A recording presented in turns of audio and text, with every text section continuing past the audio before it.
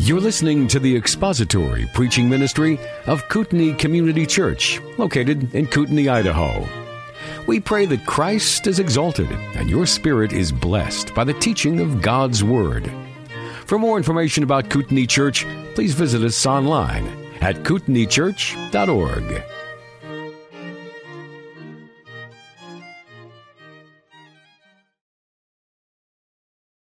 If you are in the habit of reading your Bible every day, which I trust you are, I assume that you are, it's a good discipline and a good habit to be in, then you've probably had one of those experiences where you're just reading through the passage for today and uh, taking note of what is there, and then you have a verse or a passage or a detail that sort of jumps off the page and you see it fresh like you've never seen it before, even though you've read it a hundred times and you've seen it a hundred times, and maybe you've even heard the verse preached on, but suddenly because of something going on in your life or some question that you have or something that you're dealing with or, or know somebody that's dealing with, the passage sort of takes on a whole new significance and a whole new meaning and just sort of comes alive in flesh and blood on the page. I've had that happen a couple times to me in the last couple of weeks. And it is due to the fact that, I should back up, when it happens to me, it's usually because I'm dealing with something or I'm thinking along a subject line or studying something and the fact that I am studying Acts 20 and Paul's address to the Ephesian elders, the pastors of the church in Ephesus, that has caused, um, as I'm reading through the Bible, certain things to sort of jump off the page. And one of them was in the Gospel of Matthew. I've been in Matthew and Mark the last couple of weeks.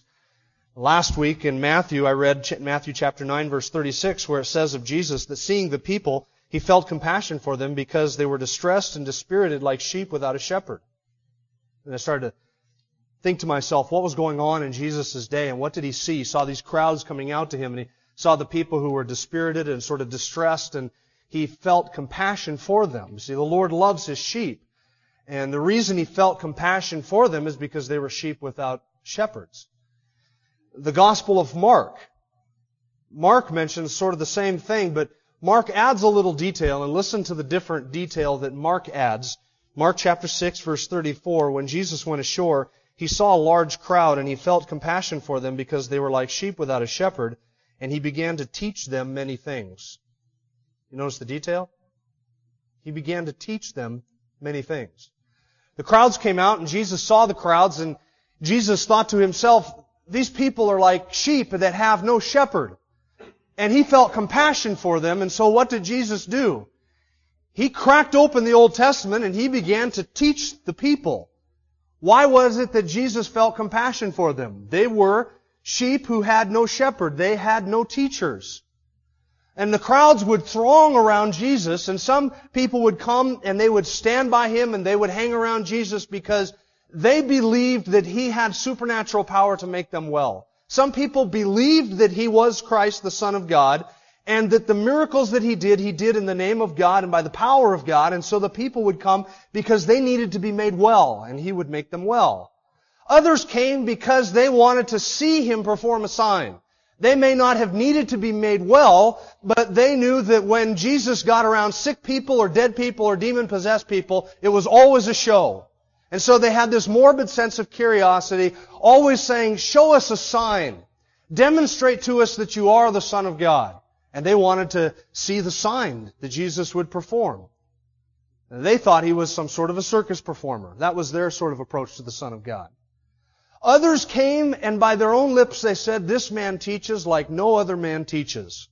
What were they hungry for? The Word. When Jesus saw the crowd, he saw that they were sheep without a shepherd, and so he began to teach the people many things. That's why the crowds hung around Jesus.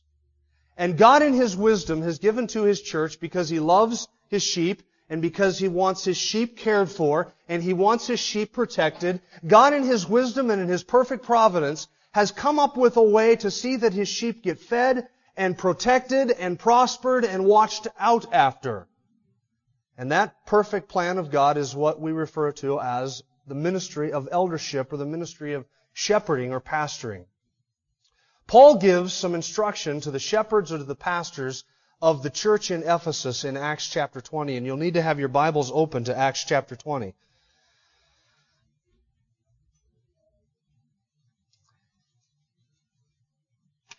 In Jesus' day, they had Pharisees who called themselves teachers. The Pharisees were the strict, legalistic, self-righteous people of Jesus' day, and they were the self-proclaimed teachers of the people.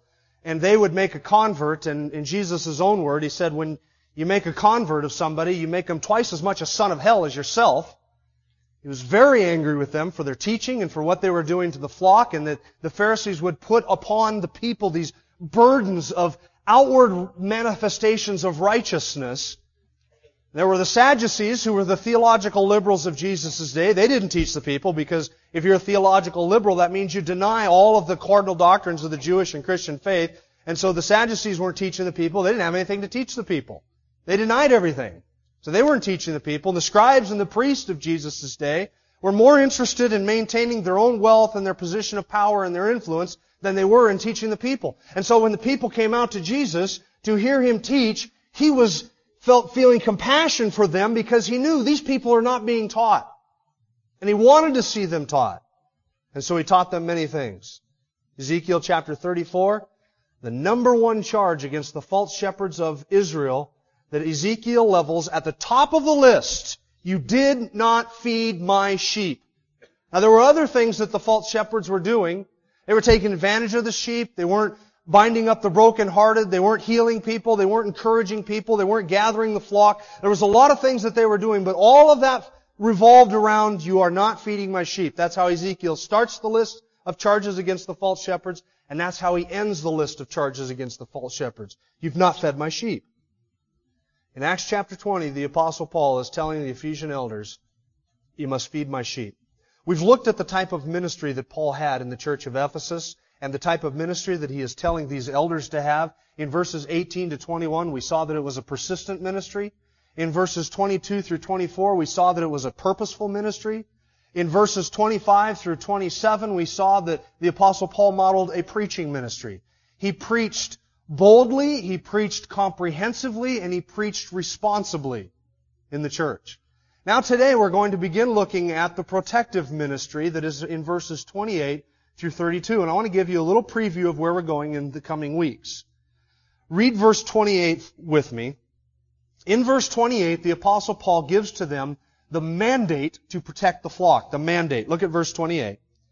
Be on guard for yourselves and for all the flock among which the Holy Spirit has made you overseers, to shepherd the church of God which he purchased with his own blood. Now verses 29 and 30, the apostle Paul describes the men from whom we are to protect the flock.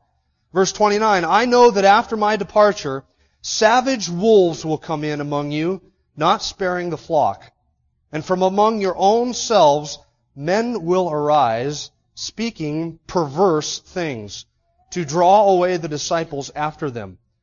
Verse 31, be on the alert, remembering that night and day, for a period of three years, I did not cease to admonish each one of you with tears. That's a me- method of protecting the flock.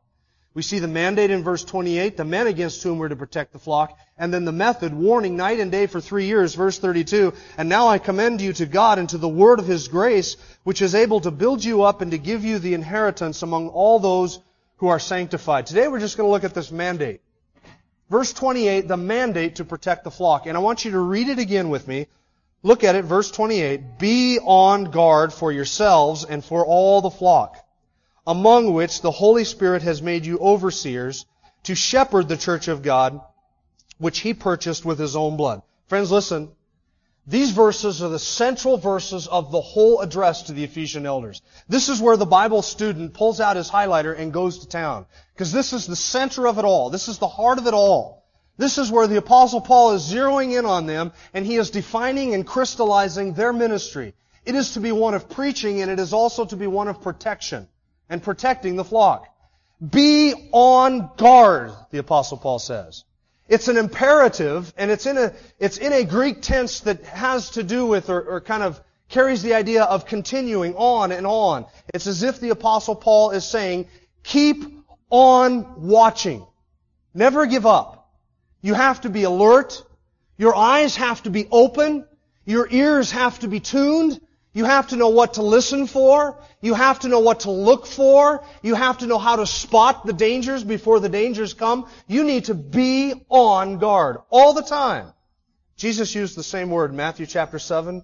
Beware of false prophets who come to you in sheep's clothing, but inwardly they are ravenous wolves. They come with sheep's clothing.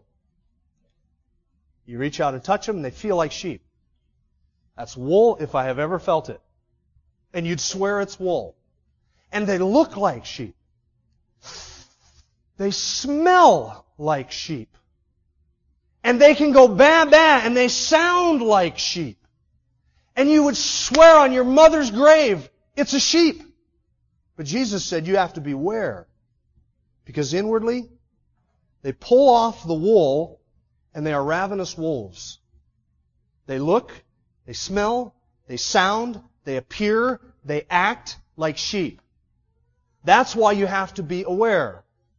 Wolves don't come in the front door of the church and say, I'm a wolf, and I'm here to take over, to take charge, and to ravish the flock. They never do that. Never. They come in amongst you secretly, quietly, and Jesus said, you have to beware because they come in sheep's clothing but inside they're wolves. And the reason they come is so that they can stand up and begin to speak perverse things and to draw away disciples after themselves, and they ravage the flock. Be alert. Be aware.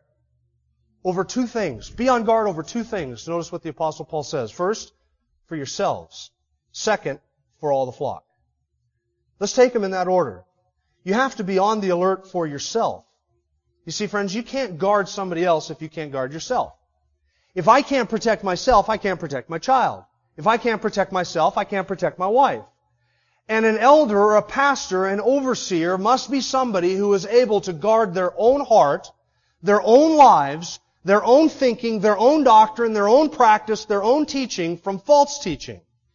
And they have to be able to stand on guard for themselves before they can protect the flock. If an elder cannot discern the difference between truth and error, he cannot protect his flock from error. If a pastor or a shepherd or an overseer cannot discern the difference between a wolf and a sheep, he cannot protect the sheep from the wolf. He has to guard himself first, because it begins at home. And listen, fathers, this principle, whether you're an elder or not, applies to you. As fathers, you cannot teach your children morals if you're an immoral individual. You cannot teach your children discernment if you are not discerning. You cannot teach your children truth if you can't discern the truth. It has to start with you. You have to guard yourself. I once had a pastor friend. No, sorry. More accurately, I once had a pastor tell me. Wasn't a friend. I once had a pastor tell me, my mentor is Robert Schuller. My mentor is Robert Schuller. The minute he said it, I thought to myself, Robert Schuller has done more to destroy the Christian church from inside the Christian church than any individual in the history of the church, with the only possible exception being Pelagius. He has done more to destroy the church from inside the church, and this shepherd's mentor is this false teacher. Do you think he's guarding his flock against false teaching? Has to begin here, doesn't it? That's what Paul told Timothy. Pay close attention to yourself and to your teaching. You see, Paul left Timothy in the church in Ephesus. This is after Acts chapter 20. Paul left Timothy in the church at Ephesus to deal with the doctrinal issues and the false teachers, Hymenaeus and Alexander, who had crept into the church and made shipwreck of people's faith. And so Paul dropped Timothy off there and he left and he went on to Troas where he wrote 1 Timothy to Timothy. And in this book, instructing Timothy on how to deal with false teachers and false teaching, Almost all of chapter 4 is devoted to instructing Timothy how to look out for himself. Timothy, pay close attention to yourself and to your teaching. Why did Paul say that to Timothy? Because Timothy can't guard the flock if Timothy can't guard himself. You have to watch out for yourselves. Pay close attention to yourself. Examine your own heart, your own practice, your own doctrine, your own teaching, Timothy, then you will be able to instruct others in the words of the faith and the sound doctrine which you've been following. And so Paul told Timothy, persevere in these things. Because if you do that, if you examine yourself and you watch yourself and you guard yourself, then you will ensure deliverance not only for yourself, but for all of those who hear you. Paul knew the order. You gotta guard yourself before you can guard other people. Beware, be on the guard for yourselves. Second, for all the flock among which the Holy Spirit has made you overseers. Paul's telling these shepherds, you have to watch out for yourself because the first line of defense is right here. And you have to examine your own heart, your own life, your own doctrine, your own teaching to make sure that it is in accordance with Scripture and do so with diligence and with discipline. And then having done that, then you're able to watch out for the whole flock. And it's a shepherding analogy, like a shepherd that is out in the field with his sheep overnight and he has been allotted a certain number of sheep that have been given to his care, and he is watching out for them. Woe to the shepherd that falls asleep while the wolves and the bears and all of the predators come in and ravage the sheep. The shepherd has to be aware of the wolves. He has to guard himself from the wolves because if the shepherd lets the wolves tackle him and take him apart and ravage him, then there's nobody left to protect the flock. That's why it's in that order. Yourselves and then all the flock. He's saying to these elders, you need to watch out for the wolves, you need to watch out for the false teachers, and you need to protect the church from there and from them and be on guard, not only for yourself, but also for all the flock. Titus chapter 1, verses 9 and 10 says the qualifications for an elder is he must do this. He must hold fast to the faithful word which is in accordance with the teaching, so that he will be able to do two things. Listen he will be able to exhort those in the faith, and second, that he will be able to refute those who contradict. And then Paul goes on to say there are many deceivers and empty talkers and vain men who are upsetting whole households teaching things they should not teach for the sake of sordid gain. Titus, you have to appoint men in the churches who are able to teach the sheep and to refute the wolves. It's not enough to be able to just teach. You have to be able to do battle with the wolves. And that requires a spine, doesn't it?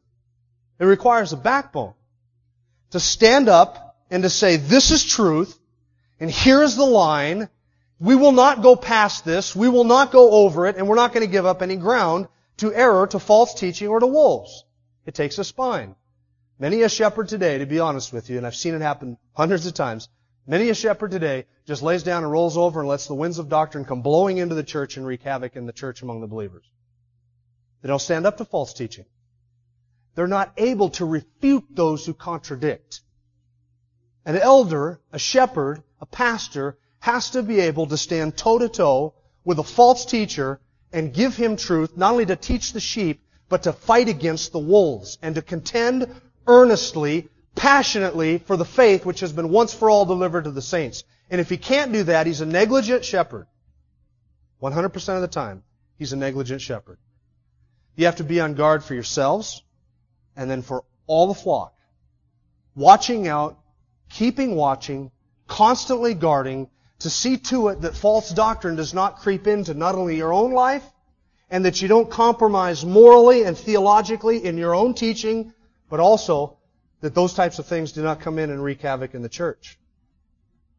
Paul says you have to be on guard for yourselves and for all the flock among which the Holy Spirit has made you overseers. I want you to notice that word overseer.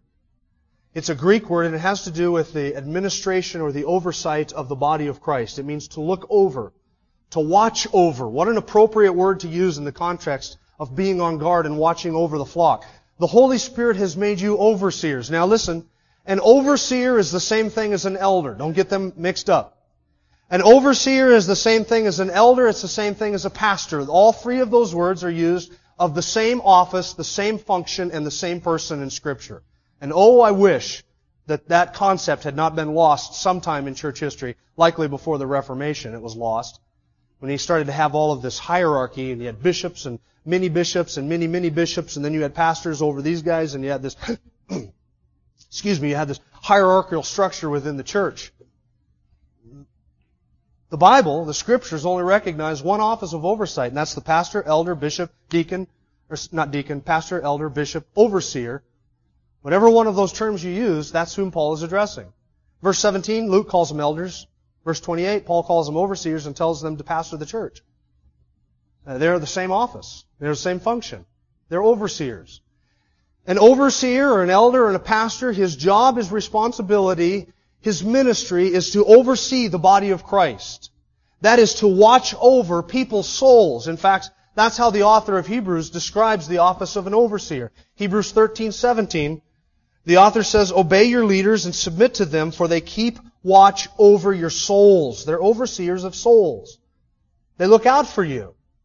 That's how God in His providence, by His grace, by His goodness, has seen to the care of His sheep. He, in the person of the Holy Spirit, has appointed elders or pastors and teachers to oversee, that is, to watch over the ministry of the church. So that everything that pertains to the life and the direction and the, the health of the church is under the oversight of those whom the Holy Spirit has appointed to it. I want you to notice that it's the Holy Spirit who has made them overseers. Notice it doesn't say, shepherd the church of God among which you were elected as officers to serve in that office. It doesn't say that, does it? No. Why? Because we're not talking about an elected office. It's not a popularity contest. What it is, it's a gifting and a calling that God has placed upon the lives of certain men to function in a certain capacity within the church. And you say, how do we know? How do we know if God has indeed appointed this man or to be an overseer, to be a pastor or an elder? How do we know if that's the Holy Spirit's doing or if that's our doing? Well, how do I know if somebody should be a teacher in the church? How do you know that? What do you look at? Giftedness, right? Nobody wants to listen to somebody teach who can't teach. So what do you look for? You look for giftedness. The Holy Spirit assigns ministry and function and office within the body of Christ on the basis of giftedness. Ministry according to giftedness. You look at an individual and you say, are they qualified according to Titus chapter 1 and 1 Timothy chapter 3 and 1 Peter chapter 5? Do they meet those qualifications? Have they been given the gift of teaching? Do they study the scriptures? Are they sound in doctrine? Can they teach those sheep and refute those who contradict? Can they fight against wolves? Can they recognize wolves? Well, if they have the qualifications and the calling and the giftedness and they're functioning in that capacity, then the body of Christ recognizes them for what the Holy Spirit has made them by giftedness and by service and by calling. It's the Holy Spirit who appoints those individuals. And as the flock, we simply recognize those that God has called to that service who have those qualities and we say, yeah, he's an elder. How do I know that? Because he's eldering. And it's not our ministry to assign, it's not our ministry to to promote. We're not the one who assigns those roles in the church. Look, you take somebody who can't teach, not sound in doctrine, doesn't like to study scripture, couldn't discern truth from error if we're both labeled with big white letters.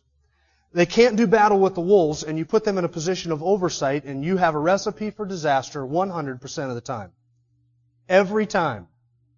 It's not ours to assign those roles. That is the work of the Spirit of God, and He does it on the basis of giftedness. You are, Paul says, to be on guard for yourself and for all the flock among which the Holy Spirit has made you overseers and has given you the ministry of oversight. To shepherd it. What does it mean to shepherd? It's an agricultural analogy that Paul's using of the, of the shepherding task in the nation of Israel. What does it mean to shepherd? Primarily it's three things. It's leading, feeding, and protecting. It's leading. In those days, the sheep needed to be led. And the shepherd would go out in the field, and there was more desert in the land of Israel than there was water, and the shepherd would take the sheep from one location to another location, and he would lead them, and the sheep would follow the shepherd. And his responsibility was to give direction and guidance and leadership and purpose and vision to the flock. That's the job of an overseer. He's to lead the sheep. Second, he's to feed the sheep. He has a responsibility to feed the sheep. And the shepherds and the pastors and elders of a church have the responsibility to oversee the feeding of the flock and to be involved in that feeding of the flock. That's their primary responsibility. It's not administration. It's not groundskeeping. It's not being in hospitals and doing funerals and all of those other things. All of those other things may be good, and I do them and the other elders do them, but that's not the primary focus. The primary, fundamental, basic requirement of a shepherd is to feed the flock. Because listen what happens when somebody isn't being fed. When the sheep are not being fed, then that's when the sheep get ravaged. I want you to notice something about verse 28. I want you to notice that it follows verse 27. You say, that's profound. Well, I know it is, but what did we talk about last week? Preaching ministry. And what did I tell you? The responsibility of a shepherd, the responsibility of an elder, is to explain the revelation as the revelation was given. To explain the Word of God as the Word of God was given. Feeding the sheep. And it is immediately on the heels of feeding the sheep and the idea of preaching that the apostle Paul moves to protecting the sheep. Why? Because the two are inseparably linked. And if you have a church that's not being fed, they're not being taught the scripture, and they're not understanding scripture, then you're going to have a bunch of, bunch of emaciated, starving sheep who will gobble up any false doctrine weed that sprouts in the pasture. And they eat it up because they can't tell the difference between truth or error because they've never heard the truth taught. They've heard a lot of Christian things said from the pulpit, but they've never heard the truth taught. John MacArthur puts it well. He says this, sadly, many under shepherds today fail to do that.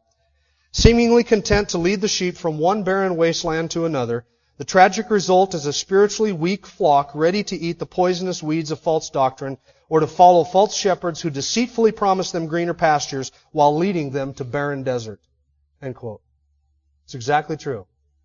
Shepherds have the responsibility to protect the flock by leading the flock out of danger, away from danger, by feeding the flock so they can recognize danger, and by protecting the flock. A shepherd, a pastor, an elder, an overseer has to be able to see danger on the horizon and act against it before it ever approaches the church. Because sadly enough, most sheep, most Christians cannot discern dangers. That shouldn't be as it is, but that is the way that it is. Most Christians simply do not even know a danger is there until it's already in the body and manifests itself in such a way that it's already ravaged the flock. You ever watch a, well, what's that show? It's uh, the channel Animal Planet. You know, and, and if you're kind of like me, then you like to see these big animals ravage the little animals and go out and you like to see the food chain at work out in nature, out in the fields of Africa. And so you see these, these animals singling out the, the weakest zebra in the crowd and they run and they pounce on that zebra and everybody leaves them behind. And sometimes you can see these animals that are predators come into a crowd and they can be in there and they can be chewing and killing on an animal while all the other ones are just standing around. They don't even know the danger's present. They don't even realize what's going on. An elder has to be able to protect the flock so that he can see the danger, deal with the danger, see the wolf, confront the wolf, deal with the wolf before the flock even knows there was a wolf on the horizon. But that can't happen if your mentor is Robert Schuller. Now my mentor is Arius. What would you do with a pastor who said, my mentor is Arius, the guy that denied the deity of Christ? What would you do with that? If you can't protect yourself, you can't protect the flock among which the Holy Spirit has made you overseers to shepherd, that is to lead, to feed, and protect the church of God. Look at the end of verse 28. Powerful little phrase. The church of God which he purchased with his own blood. Now I want you to know something. That's the greatest motivation in the world for fulfilling the task and the responsibility of being a shepherd. Because it is the church of God. That's the first motivation. Shepherds understand it's not my flock. You don't belong to me. I've been given a charge, I have been given authority, I have been given a ministry and a responsibility, but I exercise that under the chief shepherd knowing that you don't belong to me. And the Lord is free to take you home or move you on or do whatever He wants with you. Because you don't belong to me. It's not my flock to oppress. That's why Peter says in 1 Peter chapter 5, you don't exercise lordship over them, you don't oppress the flock, but you, you shepherd them lovingly, guiding them and leading them and feeding them and sacrificing for them. Why? Because it's the church of God, not your church or my church or Jess's church or Dave's church. It's the church of the living God. It's a valuable thing, isn't it? I know it is, because look what the end of verse 28 says. He purchased it with his own blood. Now answer this question, who died on the cross? Even the smallest one among us could say that. Did you hear that? Jesus, he said. Yet Paul could say that God purchased the church with his own blood. Whose blood was shed on the cross? Acts 20, 28. Who was Jesus Christ? God. In Him, that is in Christ, we have redemption through His blood, the forgiveness of our sins. Ephesians chapter 1. Titus chapter 2. He redeemed us. That is, He bought us by His sacrifice to redeem a people for his own possession, 1 Peter chapter 1, we're not redeemed with perishable things like silver or gold, but with the precious blood of Christ as a lamb without spot or without blemish. It's Christ's blood that was shed, and yet because of his essential unity with the Father, because he is the God-man, because he is the second person of the Trinity, Paul could speak of the sacrifice on Calvary as being the shedding of the blood of God. It is the church of God which God purchased with his own blood. Look how Paul viewed the church as a blood-bought community of saints. This church, this gathering of the elect of God have been bought by the blood of Christ. Is that how you view the church when you come here on Sunday mornings? Or for you, is it just your Sunday morning social time? You get up on Sunday morning and, oh, you can take church, I can leave church. No big deal. I, I really don't care if I ever see those people. You think Paul had that mentality? Look at his view of the church. When you gather here together on Sunday mornings, friend, you gather with the blood-bought saints of God. God paid a price for the person sitting next to you. He shed His own blood. And an elder, a pastor, a teacher has been given the task of protecting the most valuable thing on earth. Name me one other thing that God shed His own blood for. One other thing. There's nothing as valuable as the blood-bought community of the saints. And listen, I want my children to understand that. And I want my children to understand that when they come to church, they come to church to worship with blood-bought people. People who have been ransomed by God's own blood. That's not a small price. And I want my children to understand that if you neglect the fellowship of the saints, and if you neglect to come together with God's people on a Sunday morning, you do so to the detriment and possibly the destruction of your own soul. Listen to me.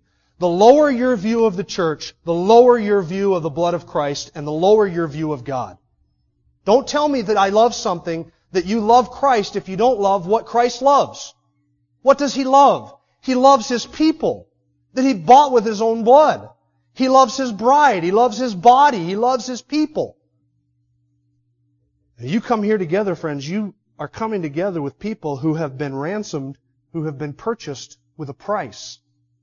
And this gathering of people, along with all other like gatherings of true believers on the face of this planet, is the most precious thing in all of the world. It is the most valuable thing that has ever existed. Why? Because it was ransomed and purchased by God's blood. He paid that price. Now we're talking about serious things, aren't we? You say, well, we'll just have church at home today.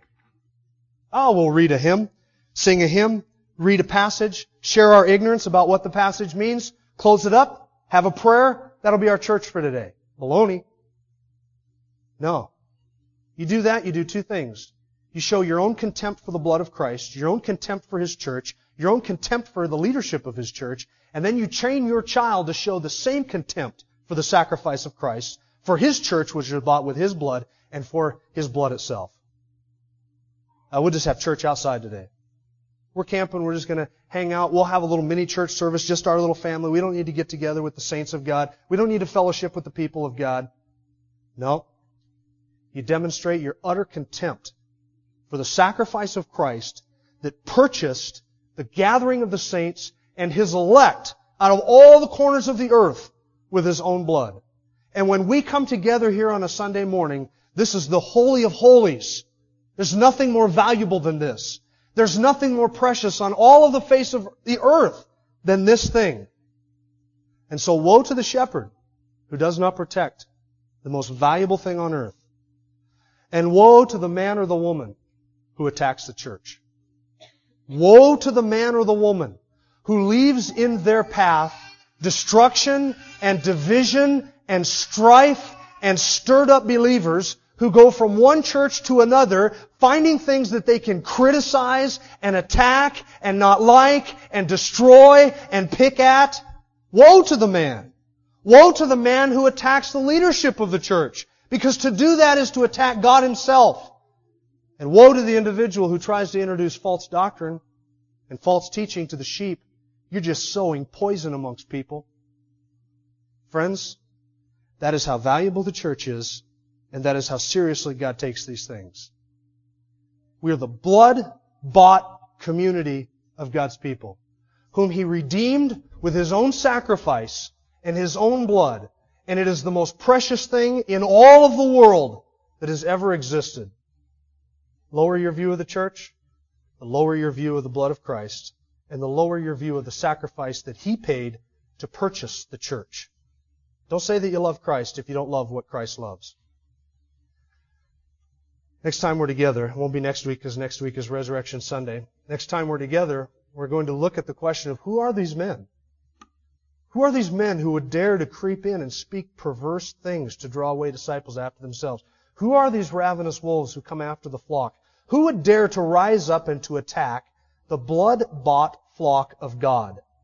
Who are they? We'll look at them in verses 29 and 30. Let's pray together. Our Father, we do thank you this morning that you have bought us and you have redeemed us and you have paid for us a price.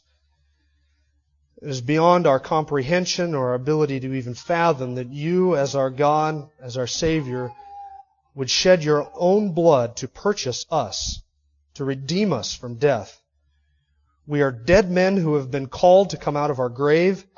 We thank you for that sacrifice which atoned for all of our sins and provided for us salvation, sanctification, and security in your flock and in your Son. We thank you that we are accepted in the beloved, and we thank you for the privilege that it is to be amongst the called out ones, to be amongst those who have been bought by the blood of Christ. It's humbling to us because we know that we are not valuable at all. And it is only the fact that you sacrificed that gives any value to the church whatsoever. It's not because of us. And so we thank you for all of this. We commit ourselves to you today in Jesus' name. Amen. And turn in your Bibles to the book of Ephesians chapter 1 for our communion service this morning. Ephesians chapter 1.